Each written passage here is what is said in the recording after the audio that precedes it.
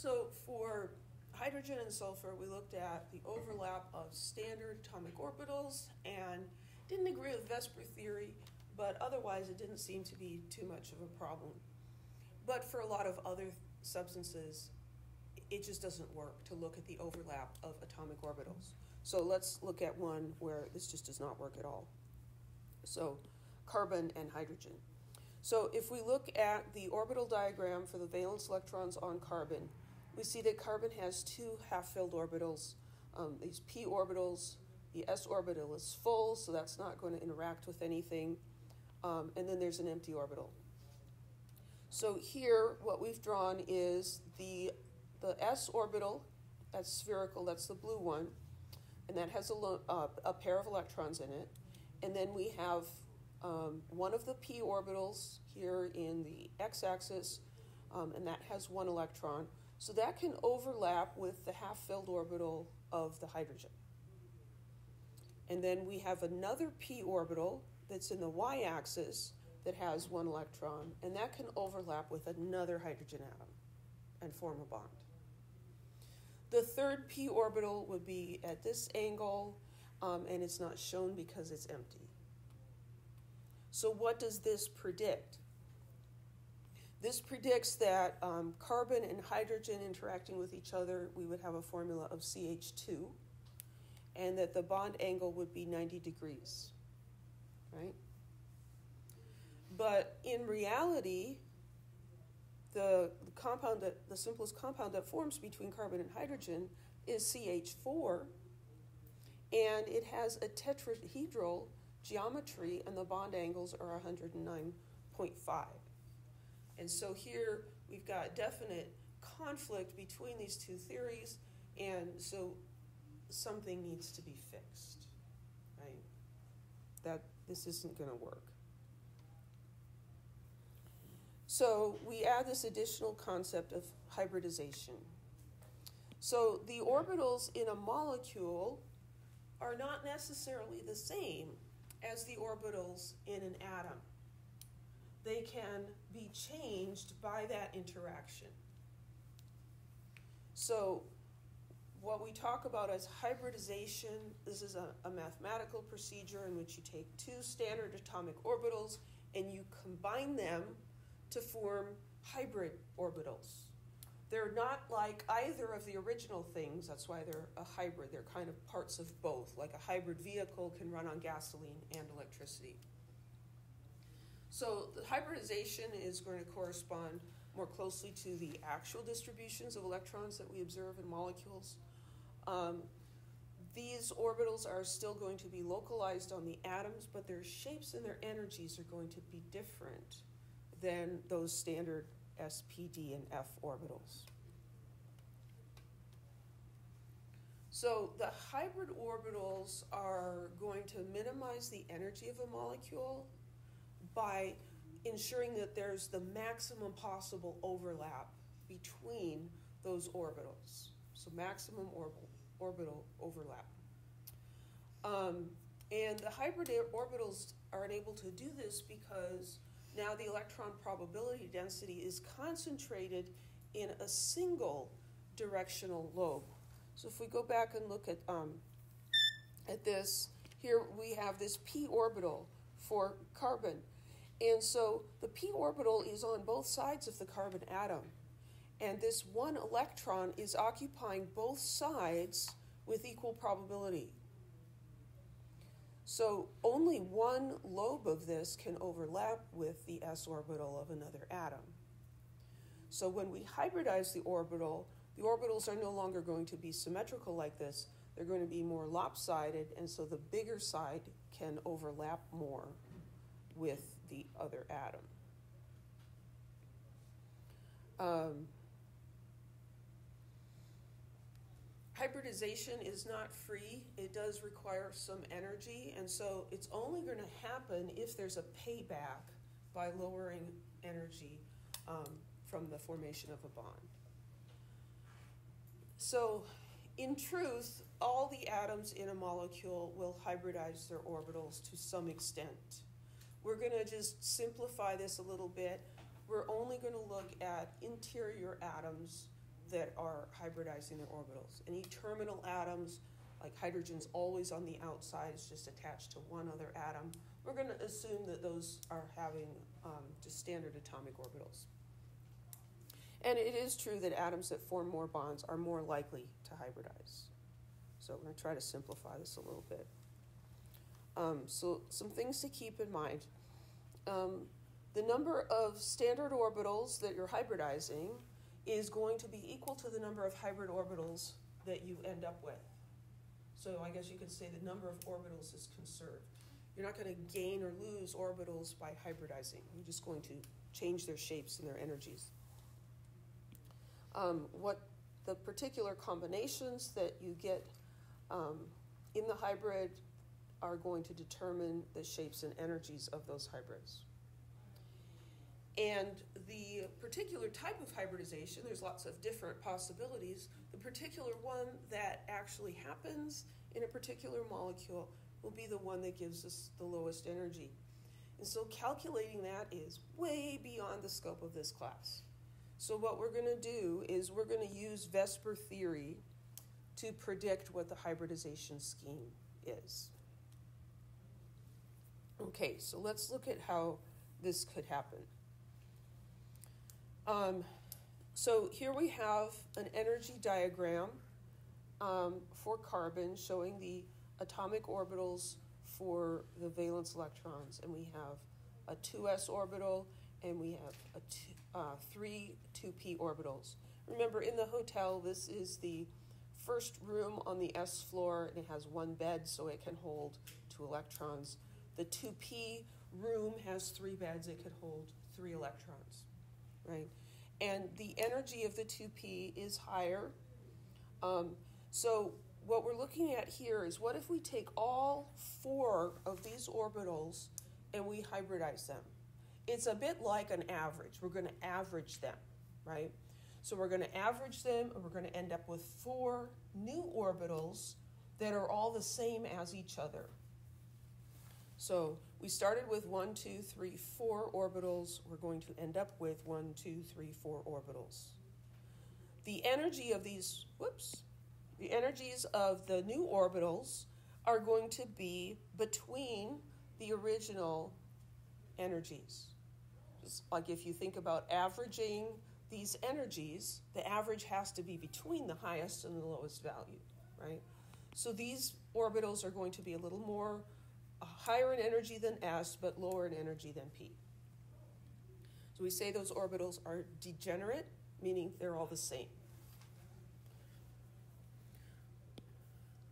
So if we think about this in our hotel model, if we're looking here at the second floor,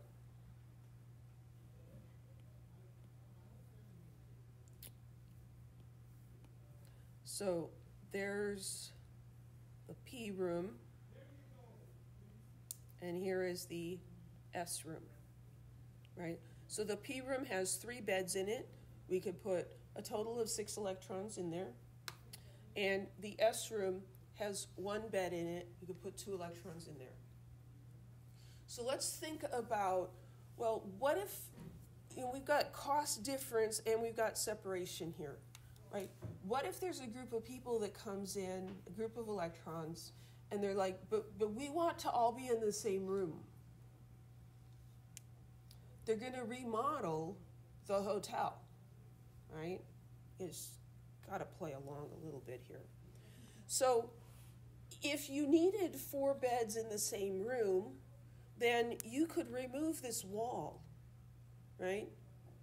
Take the wall out. Now you have one big room and there's the four beds.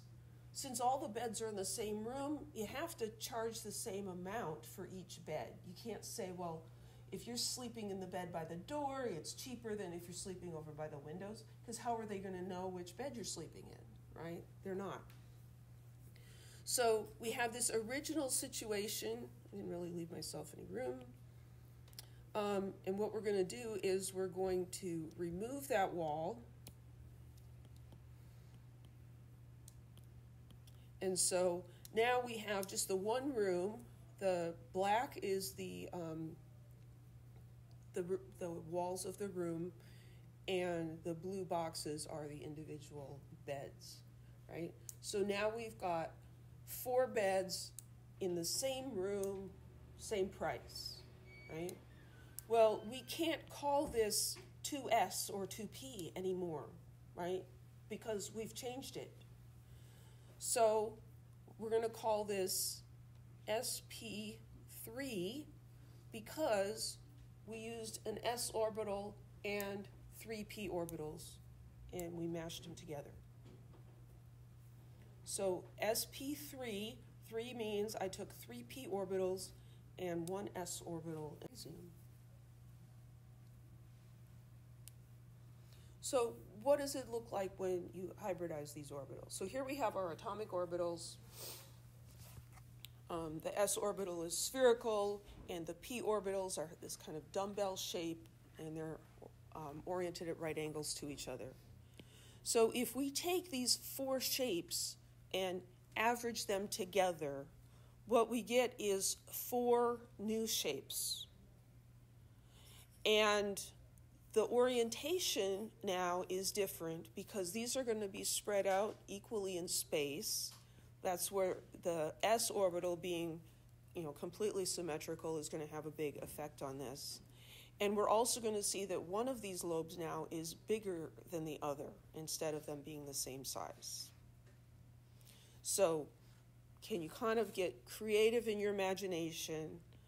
And um, believe me when I say that if you average those things together, you could get four things that look like this. I know it's a stretch, but kind of possible. So if we show all four of these on top of each other, it's going to look like this. And that should be a familiar shape now. That's a tetrahedral, a tetrahedron. And it looks like what happens when you have four balloons tied together, right?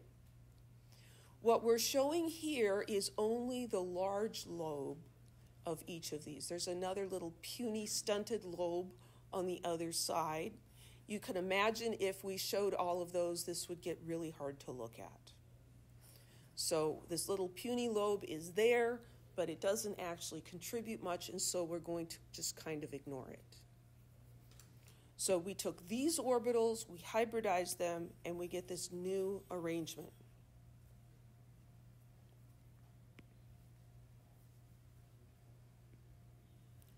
So here's this carbon with its new hybrid orbitals, and I like how they used color here because the p orbitals were red and the s orbitals are blue. And what happens when you mix red and blue? You get purple, right? So these are the hybrid orbitals. Each one of these has one electron in it, and that one electron can overlap with a hydrogen. So here, if we look at the orbital diagram for hydrogen,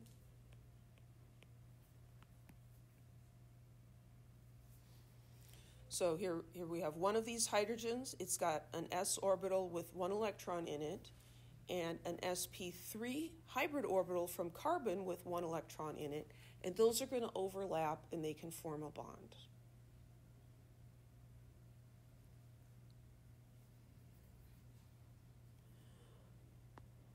So this is going to predict that we're going to have four bonds with hydrogen between carbon and hydrogen and that the shape of this molecule is going to be tetrahedral, not a 90 degree flat thing. And this agrees with experimental observations. Any questions?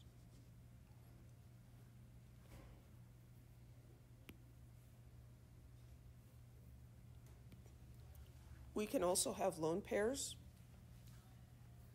Um, if we look at nitrogen um, so nitrogen's atomic orbital, nitrogen has five valence electrons, right? One, two, three, four, five. Um, this is 2s and this is 2p. And if we hybridize those, we're going to get four equivalent orbitals, and this is going to be called sp3. And now, if we put five electrons into that room, they're going to get their own beds first. One, two, three, four, and then that last one has to pair up. So now this shows us we have a pair of electrons in this one. That's a lone pair. It's not going to form a bond because that one's full. But each of these is half filled and can overlap with a hydrogen half filled orbital. Because these are hybridized, they're going to have this uh, tetrahedral geometry. And so we're going to see the tetrahedral electron geometry for ammonia. Um, and this one is the lone pair. So the lone pair, as we learned, takes up a little more space, so it's going to push these guys a little bit together. Um, the bond angle is 107 um, instead of 109.5. Um, and valence bond theory explains that because the hybridization is going to be less complete due to the lone pair. Um,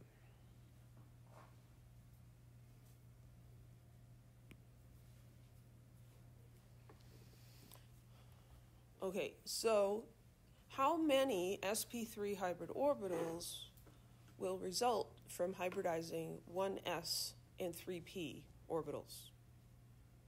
If I take an s and 3p orbitals and I average them together, how many orbitals will I end up with? The same number of orbitals that I started with. So I started with one, oops, I started with one plus three. I started with four orbitals. When I hybridize them, I don't change the number of orbitals. So when we're remodeling the hotel room, the number of beds stays the same. All we're doing is we're moving walls, changing prices, but the number of beds stays the same. Okay? So if I started with 1 plus 3 is 4 orbitals and I hybridize them, how many will I end up with? 4. Oh, I guess that'll work.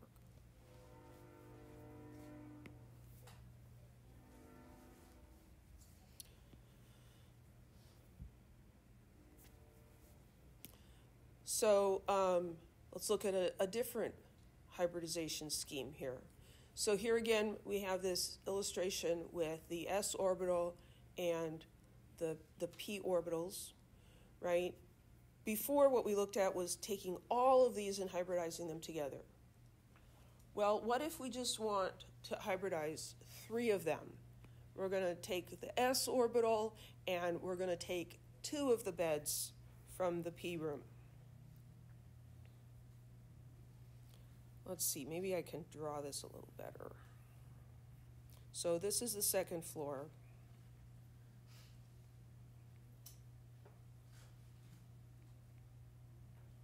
That kind of look like a bed.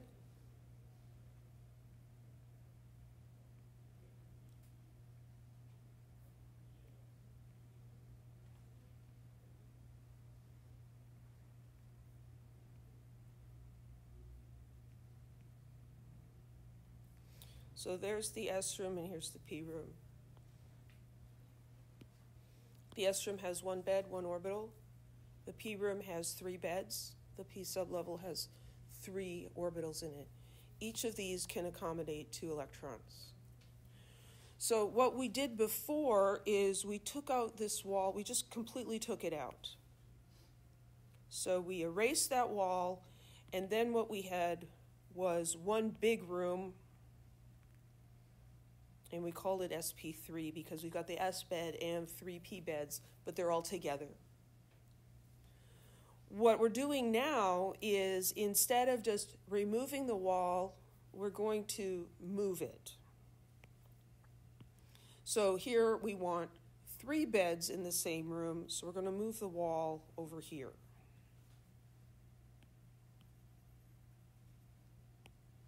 So we have the S bed and two of the P beds all together. And so that's going to be called SP2. And what about this guy? Well, that is a P bed from the P room, right?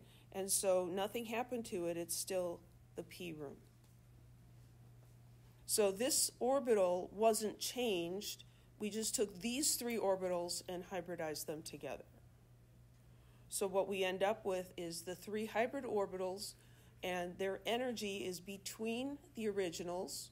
So the cost of this room is more than the S room, but less than the P room. And then we've got this other one that was unaffected, and so its energy is the same as it was before, and that's this guy.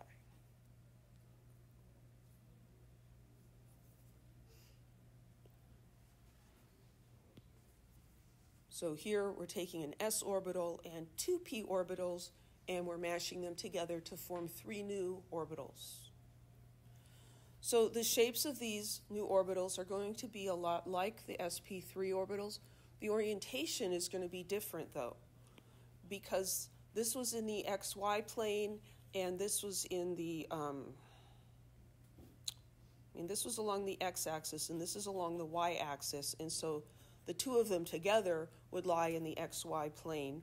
Um, and so all three of these now are going to lie in the same plane. So it's going to be flat. So we've got three things now, and three things are going to make that trigonal planar shape, like three balloons. And doesn't that even look like what you get when you tie three balloons together? You're going to lay flat, right?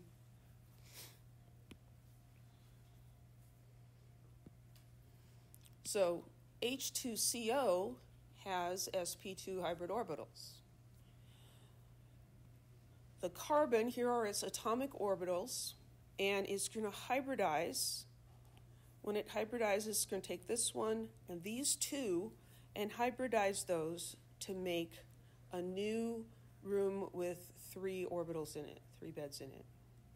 And then this guy remains unchanged, it's still a p orbital.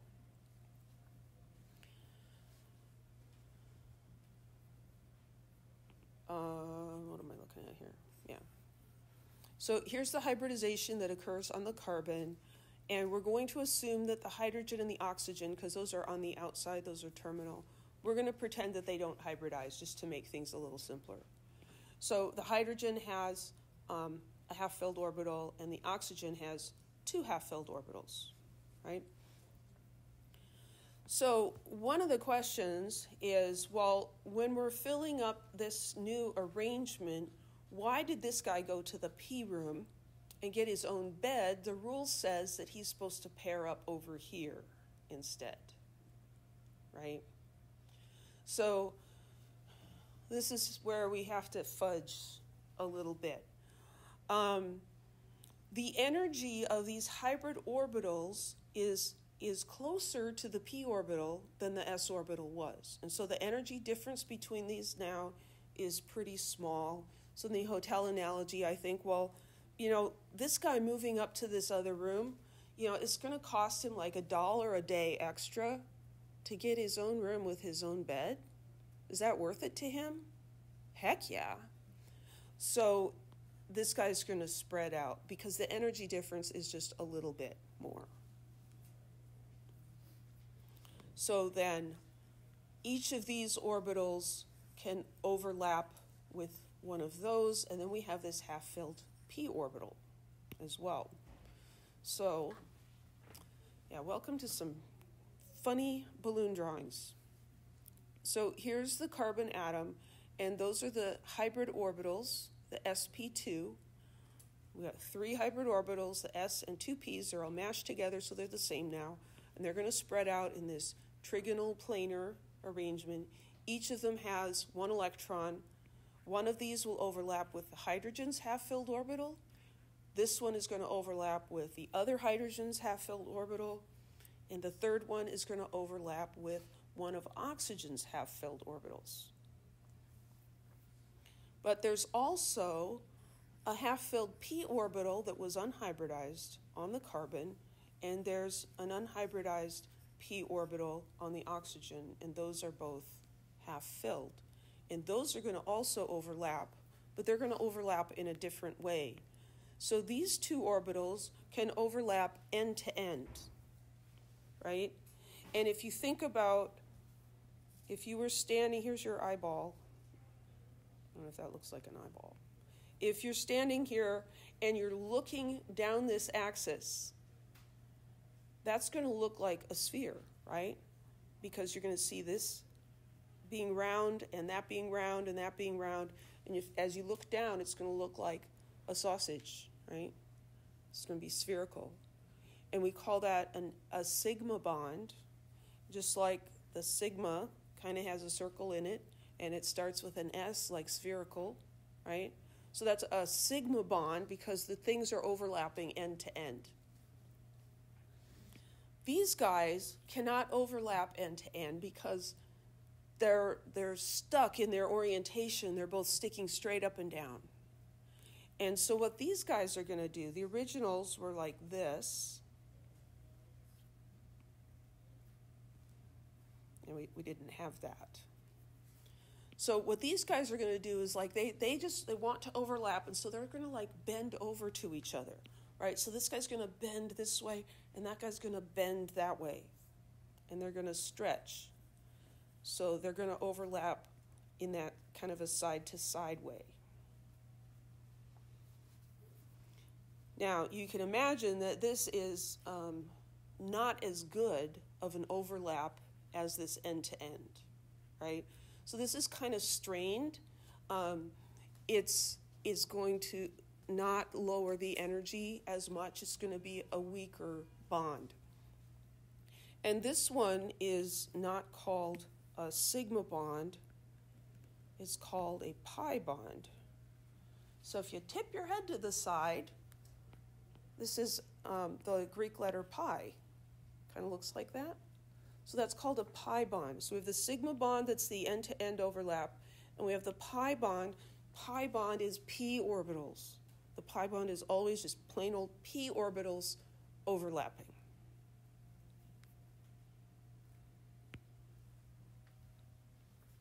So illustrating that, so here we have half-filled p orbitals that are parallel to each other. When they overlap, they're going to have to overlap side to side right? So these are kind of bend over and hold hands across this distance or something. Whereas these that are um, aligned along the same axis, they can just overlap the ends. So that's a sigma bond, and this one's a pi bond.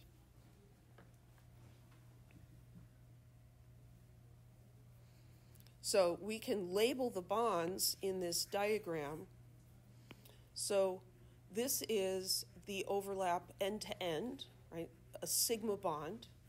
So that's sigma, and we put a colon, and then we're going to indicate what orbitals are overlapping there. So from the carbon, we have this sp2 orbital, and from the oxygen, we just have a regular p orbital. So that's the overlap between sp2 on carbon and p on the oxygen.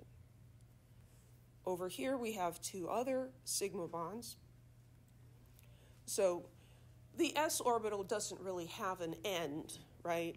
But you can think of it as overlapping with the end of this hybrid orbital. So that's also a sigma bond. We've got the sp2 orbital on the carbon, and that's overlapping with an s orbital on the hydrogen. So that's the label for those guys. This one here is a pi bond, and that's an overlap between the p orbital on the carbon and a p orbital on the oxygen. Pi bonds will always be p orbitals.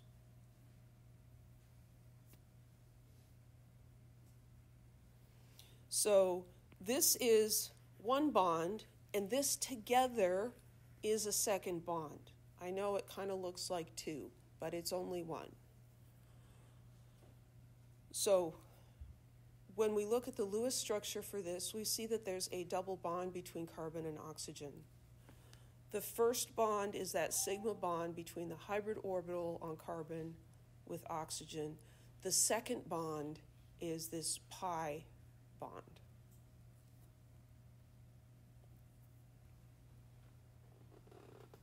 So we get a little more insight into this the bond using valence bond theory than we did with the Lewis model.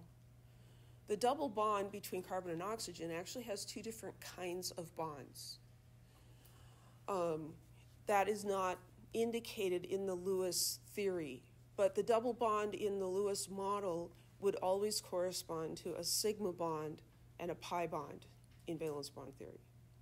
Pi bonds are going to be weaker because they cannot overlap as well. They're like you know, stretching off to the side instead of just running head on into each other. So that pi bond is weaker and it's easier to break than the sigma bond.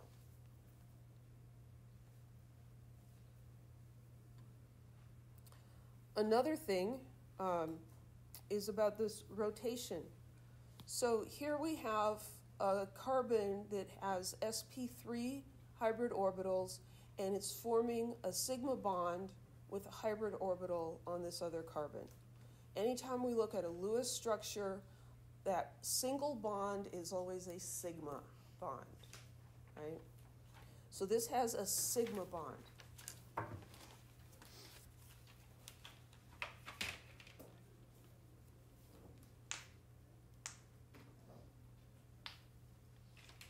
When we have a sigma bond, just a single bond there, oh, where do my sticks go?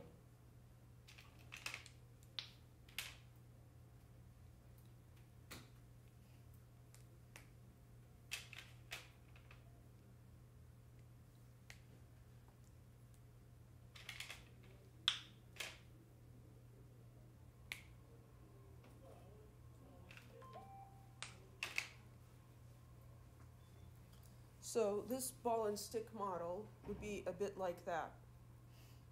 If I got one of these for color. So I've got the two white balls, those are the two hydrogens, right? There's two hydrogens, two hydrogens, and one chlorine.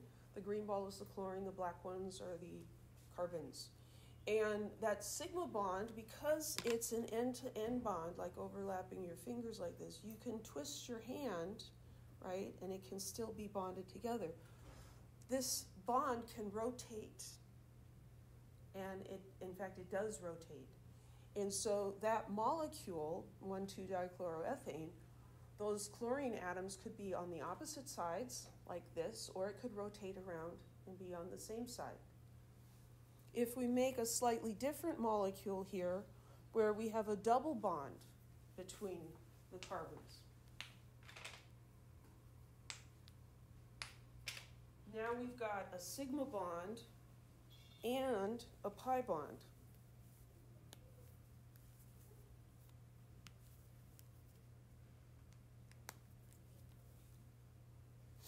So, looking at this picture, here we've got the sigma bond, and here's this pi bond that's above and below. Well, if you want to rotate, I mean, that's like putting two fingers together, right? Now, if you rotate one hand, you can only do it if you disconnect fingers, right? You can't rotate when both of those are bonded together.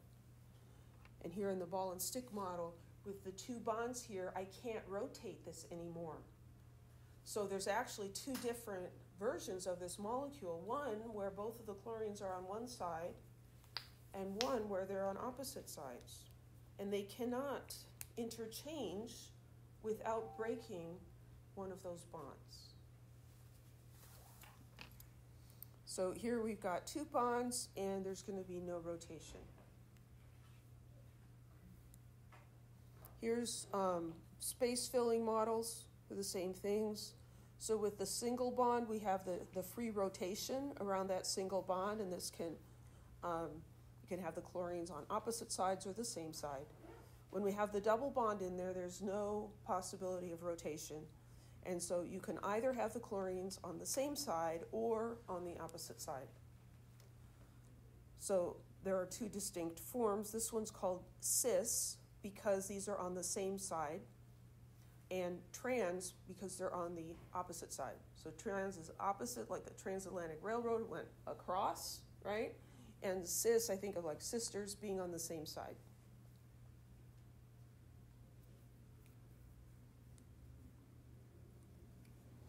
Um, this, this one has a lot of words in it. Um, so back in, in chapter 10, we learned that double bonds are stronger than single bonds, and they're also shorter. Um, and here, looking at these specific carbon-carbon single and carbon-carbon double bond, so the single bond is 347 kilojoules per mole, the double bond is 611 kilojoules per mole, Um, you know, thinking simplistically about this, you might say, well, if this is a double bond, shouldn't the energy be twice as large? That would kind of make sense, right? But it's not. Uh, 2 times 347 is uh, closer to 700, right, than 611. So this isn't quite twice. Why?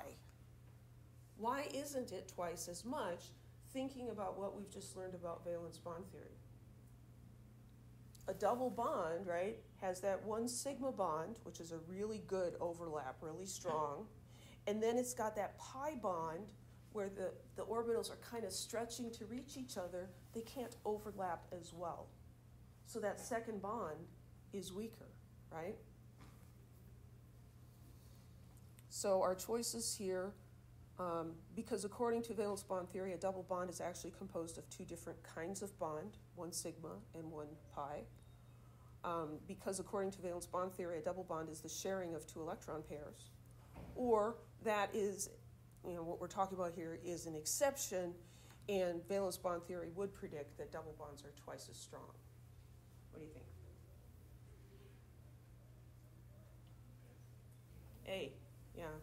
Because it's not twice as strong because it's not two of the same bond. It's one bond, and then the second bond is not as strong, and so it will not be twice as strong.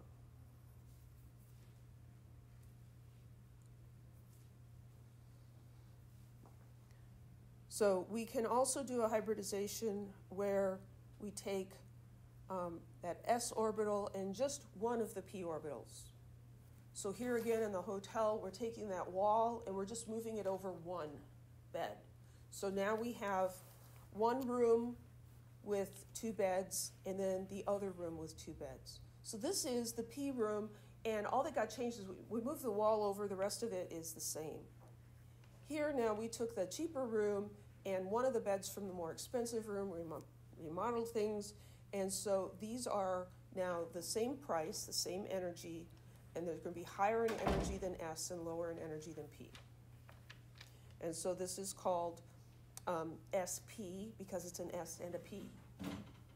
So SP2 is an S and two P's, SP3 is an S and three P's. So here what happens is we've got an S in just one of the P's, and we hybridize those together and again, we get these drumstick kind of things, these lopsided dumbbells. Um, here, one's going to point to the right and one's going to point to the left. So if we superimpose them, it's going to look like this. And again, we're ignoring the little stunted end.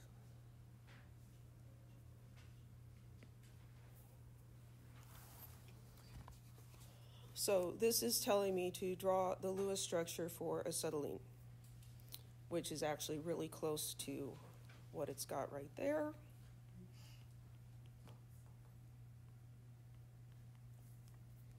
So what we have here, um, this carbon has two electron groups, right? Um, it's going to form a single bond with the hydrogen, and it's going to form a triple bond with the carbon. So the carbon's going to hybridize, and so we're going to take this one and this one, we're going to hybridize those together, and that's where we get this new room with two beds. And again, this other room next door is only a little bit more expensive than this room. So when we put four electrons in there, these guys get their own beds, and then these guys are going to opt to pay the dollar more a day. You know, the room's like a hundred bucks, right? So a dollar more a day is like nothing to have your own bed. So they're going to spread out like this. We've got four half-filled orbitals.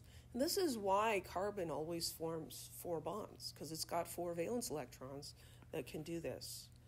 So one of these is going to overlap with the 1s orbital of hydrogen.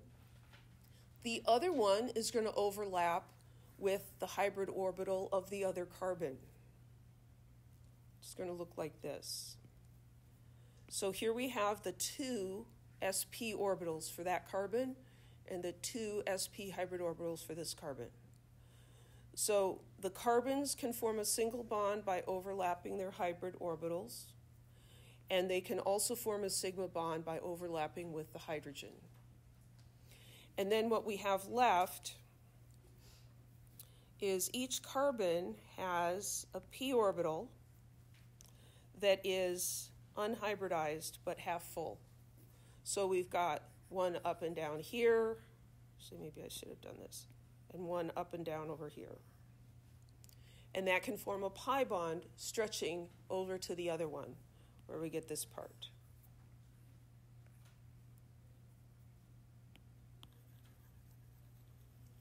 So that's one pi bond. But then we also have another pair of unhybridized p orbitals, and those are at right angles to the first one. And so those can also form a pi bond. Doesn't that look like it might be a fun pool toy to play with? Big inflatable thing. Uh. So this is a sigma bond that's between an sp hybrid orbital on one carbon and the sp hybrid orbital on the other carbon. The hybrid orbitals are always going to be involved in sigma bonds. For this carbon, its other hybrid orbital overlaps with hydrogen. And then these two are pi bonds. And pi bonds are always between p orbitals, p orbital on one carbon, the p orbital on another carbon. This shows us, predicts that this molecule would be linear. And that matches up with what, with what we learned about from the VSEPR theory. And also, experimentation tells us it is a linear molecule.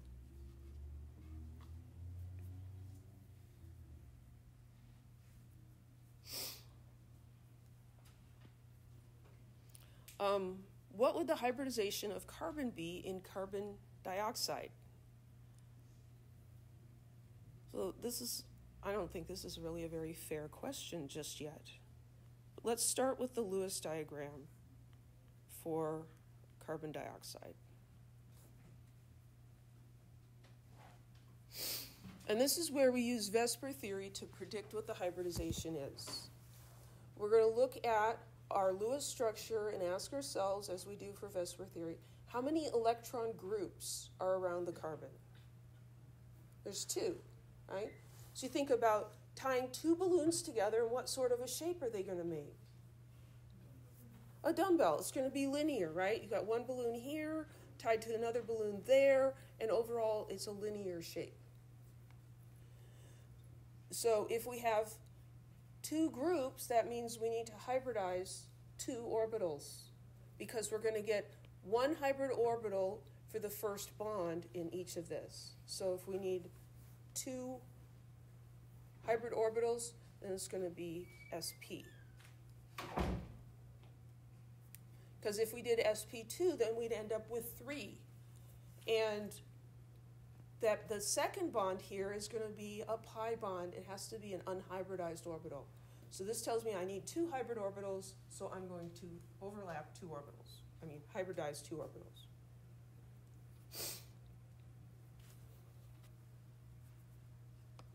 Um, so we learned about expansion of the octet. And so what this corresponds to in valence bond theory is that now we're expanding into the d room of the hotel. So we're involving the d orbitals. Um, the energy of those 3d orbitals are similar to the 3s and the 3p. Is a little higher, that's why they don't fill until later, but it's not crazy higher.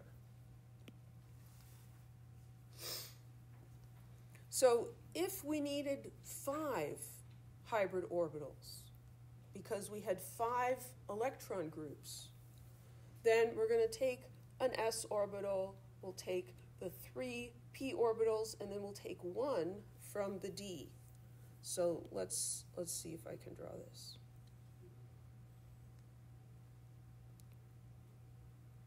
Oops, that's not what I wanted to do. Um, it's going to take me too long to draw that many beds. So I'm going to write B for bed. so there's the S room. It's got one bed. right? And the p room has three beds. And the d room has five beds in it. So this is a group coming in that says we need five beds together, but we want it to be the cheapest possible. We're not going to just skip this and go up here. I know that's it's not a very good part of the analogy, but you can only do so much with this stuff. So we're going to take out some walls. Ooh, I can actually just move that wall. I'm just going to move that wall over. Um, so here I've got the S bed and three P beds and a D bed now. And what do I have left over here? These are just beds in the D room. We just made it a little smaller. But here are those four, they're just the same as they were before. Those are unchanged. The rest of these guys now are going to be intermediate in energy between the highest and the lowest. And they're all going to be the same.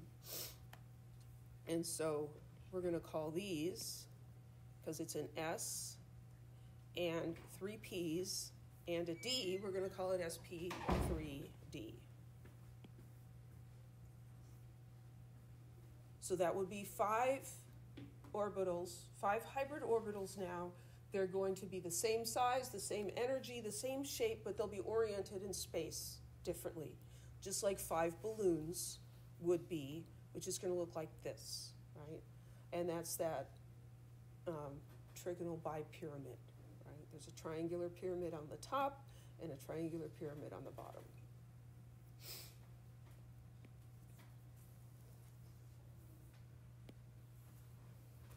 So if we're looking at something like arsenic um, pentafluoride, that's going to have five electron groups here.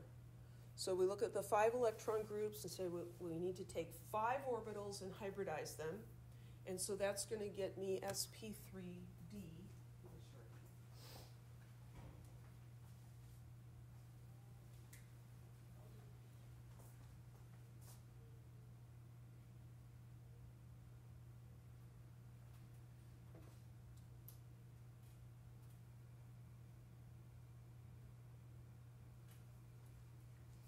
So you look at your Lewis structure and you ask yourself, how many electron groups do I need?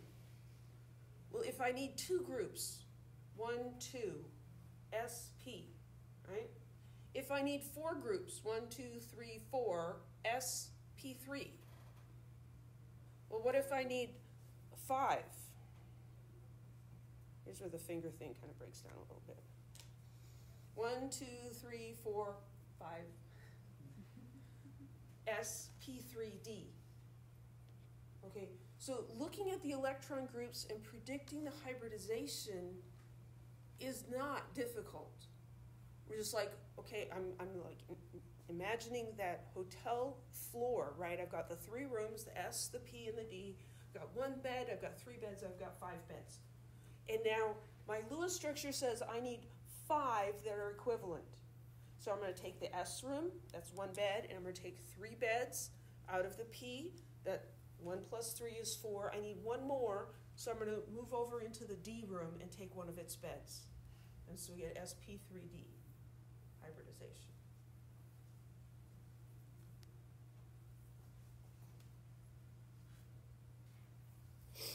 What if we need six?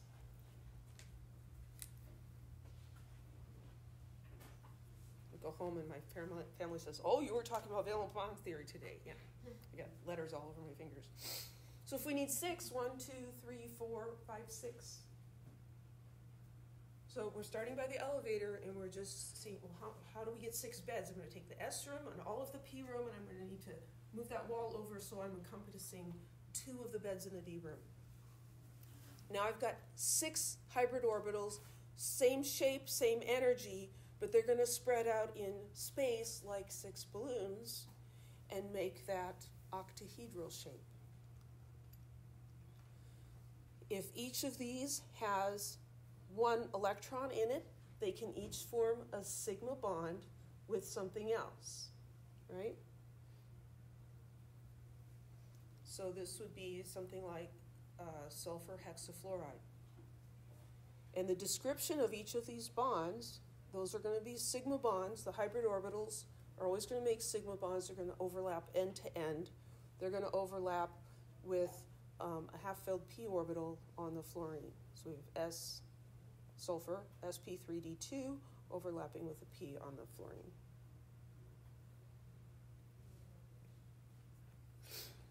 So the hybridization scheme, and how do we know what kind of hybrid orbitals are going to be used? Um, the rigorous method is you'd calculate it um, to see what would give you the lowest overall energy. We're not going to do that. We're going to settle for good enough for Chem 1A, right? Good enough. We're going to assign an electron hybridization scheme from the electron geometry of the central atom. The electron geometry comes from the number of electron groups. Okay? This is not 100% accurate, but we're not going to ask you any questions where it doesn't work. Okay? So we're going to go for good enough here. So then your book gives you these tables. Um, so if you have two electron groups, we know from VSEPR theory that that's going to have a linear geometry. How do we predict what the hybridization is? Well, you know, I've got these letters written on my fingers, right? I, I have two groups. One, two groups, SP. You know, jump down, jump down to this one. This one has four groups. What's the hybridization? One, two, three, four, SP3. Right? So that's how we're going to predict what the hybridization is. So these are the instructions to write a bonding scheme. Um, and there is a worksheet about this. So you have to start with the Lewis structure. So worksheet 10 had you drawing Lewis structures for a bunch of different molecules and ions. In worksheet 11, where we're going to be looking at the Lewis uh, valence bond theory, we've got some of those same molecules and ions, and so we're going to use the Lewis structures that you already wrote, and now we're going to go to the next step, and we're going to use VSEPR theory to predict the electron geometry. So that's why on worksheet 10, I asked you how many electron groups are around the central atom right? And you were like, what the heck is an electron group? And we tried to explain it, but it's still kind of fuzzy, right? So an electron group, it could be a single uh, lone pair, a single bond, a double bond, or a triple bond. So a triple bond together is one group of electrons. It's not a pair, it's a group. So it could be six electrons in the group. So we're going to select the correct hybridization based on the electron geometry, really it's based on the number of electron groups, which is what the geometry is based on. Um, then you would sketch the molecule, um, starting with the interior atom and its orbitals, and then you'd label all the bonds using the sigma and pi notation. The good news is, I'm not going to make you draw these, in part because I don't want to have to look at your drawings right? And try to evaluate is this correct or not? So, but let me just illustrate how this works. So, here we're going to write the hybridization and bonding scheme for xenon um, tetrafluoride. So, the first thing is the Lewis structure.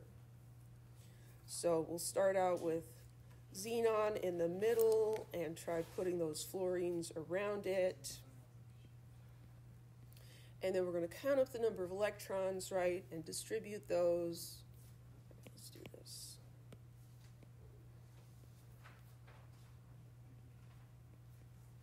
And the, the purpose of this is not to talk about drawing the Lewis structure. But. And then we've got extra electrons, and so they're going to go on the xenon. So that's starting with the Lewis structure. How many electron groups around the xenon? Six. So what's the hybridization? One, two, three, four, five, six. SP3D2. So the hybridization, because we have six groups, it's going to be SP3D2. We need six orbitals, right?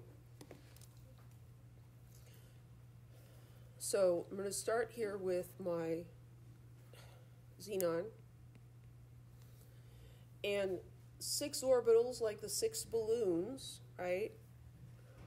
Actually, I should make that purple. Because these are hybrid. So there's going to be one up and one down and one coming out to the front and one going back and one going back there, one coming out here. You just kind of have to use your imagination a little bit. And so each of these has one electron. But wait, let's think about this.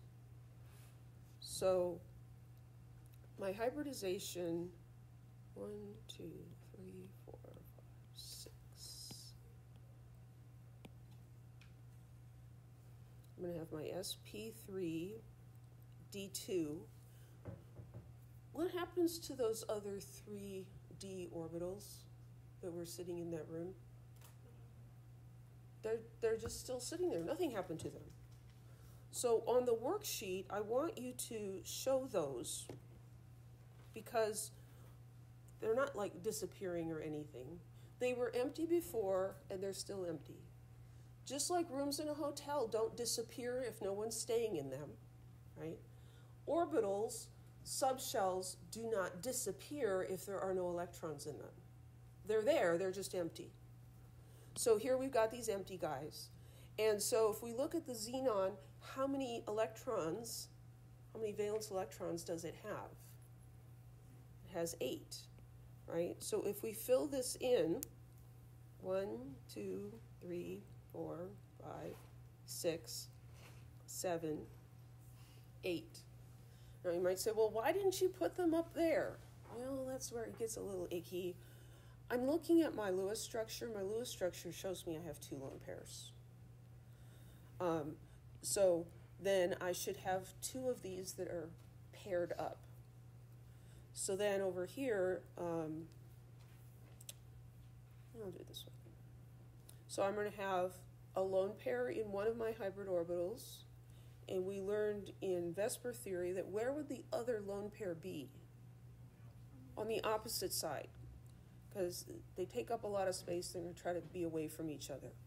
So I've got these two opposite of each other, and then I've got these four orbitals that are kind of like the skirt, the, the tutu of the ballet dancer, right? They're around the middle. So each of these fluorines, if we look at the fluorines, um, and again, we're going to pretend that the fluorine does not hybridize.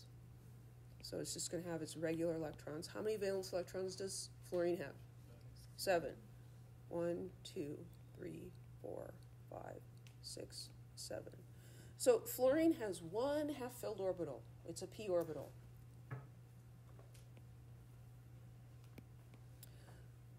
So here's fluorine, and it has one orbital that's half filled, and that's going to overlap with that hybrid orbital on xenon. And here's another fluorine. It also has one atomic orbital, a p orbital that's half full.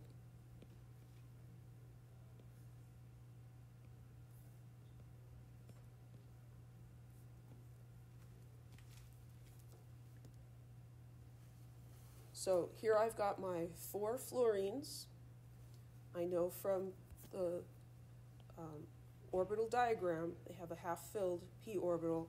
That's going to overlap. The first bond is always a sigma bond. Hybrid orbitals always form sigma bonds. And so all of these bonds are going to have the same notation, right? It's a sigma bond. And what kind of bond is xenon using? I mean, what kind of orbital? sp3d2. And, and that's going to be overlapping with fluorine. And what kind of an orbital is fluorine using? A p orbital. So this is the bonding description for each of these. They're all the same. So that would be the hybridization and bonding scheme.